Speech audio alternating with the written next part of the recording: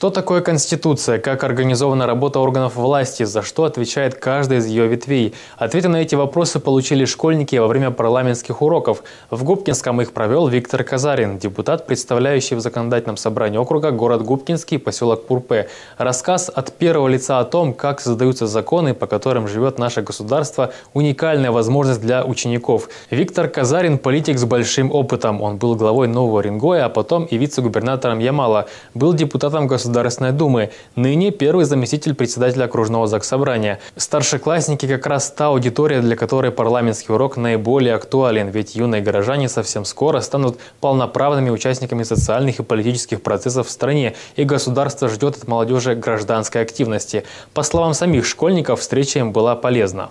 Мне было довольно-таки интересно. А вообще, я уважаю Россию, мне нравится здесь жить. И как бы послушать про Конституцию, которая здесь установлена, было довольно-таки интересно. Те, кто управляет страной, это одни из самых достойных людей. Мне кажется, это очень сложно, потому что на таких людей ложится огромная ответственность а, именно за других людей, которые проживают в этой стране.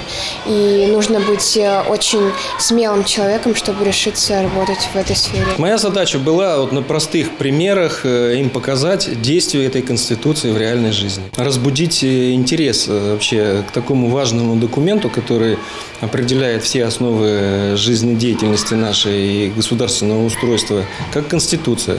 А тем более, что 12 декабря мы будем отмечать 25 лет Конституции. Проект «Парламентский урок» – это проект партии «Единая Россия», цель которого – заинтересовать молодежь, побудить активно участвовать в жизни своего города, региона и страны в целом.